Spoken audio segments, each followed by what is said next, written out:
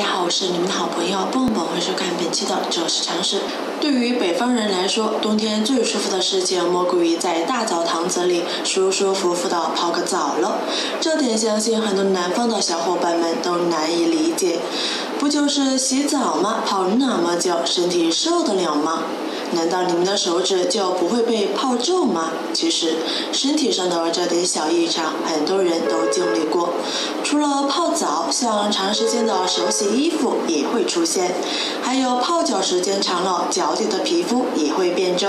只不过这太稀松平常了，因此鲜有人会追根问底的查个为什么皮肤这样，到底是咋了？是身体发来的什么暗示吗？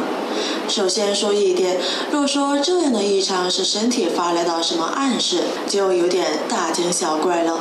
这种现象和健康无关，说白了就是泡水时间长，皮肤角质层细胞吸水膨胀导致。目前在学界关于角质层细胞吸水膨胀的原理有两种解释：其一是细胞膜具有半透膜的特性，可以使水分从低浓度的一方流向高浓度。其二是角质细胞内存在大量的蛋白，蛋白对水产生了毛细作用，就像海绵吸水。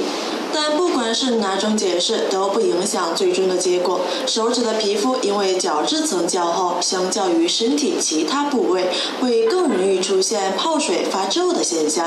当然，太厚太硬的部位也很难起皱。比如说我们的手掌根部或者脚后跟等部位，有时候手指泡水发皱，不见得是件坏事，因为在临床上，有医生发现一些症状神经麻痹的患者，不管怎么浸泡都不会有水皱反应，而他们的病患是拇指到中指的神经元连接受损。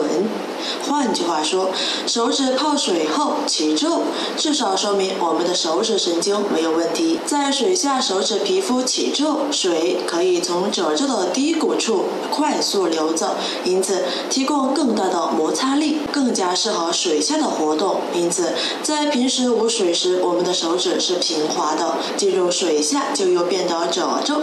这个技能听起来就很高级。好了，朋友们，感谢关注，这是常识，了解更多常识，咱们下期节目再见。